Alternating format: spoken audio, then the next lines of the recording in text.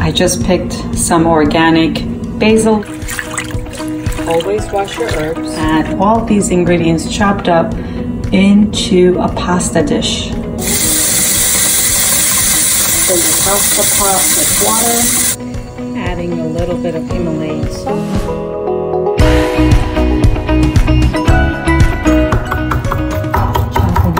Basil, garlic, olive, fresh basil chopped up. Oh, it smells so good already. Oh my goodness, the smell is really yummy. And basil, smell is really incredible. When you cook it, it comes down to nothing. Basil. This is boiling nice. This is boiling nicely. I am going to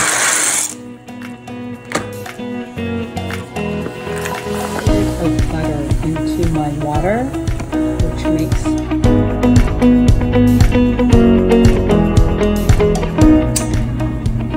I also like chopping my peppers up. Olive oil, sea salt, and put them in the air fryer.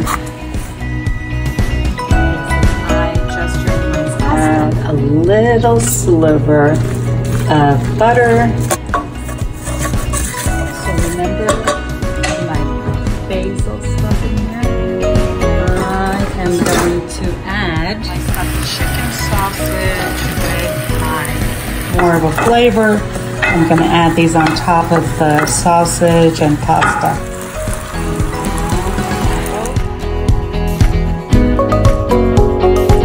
Really a great Sunday family dinner.